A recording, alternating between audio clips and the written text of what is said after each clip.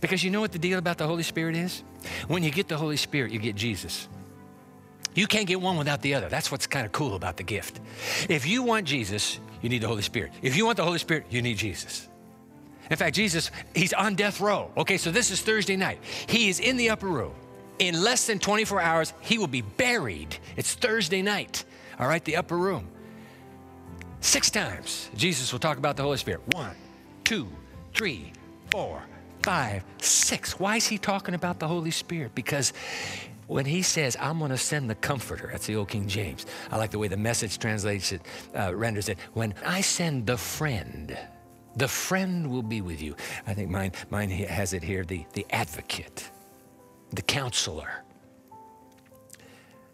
Jesus says, When I send the friend, he will, he will testify about me.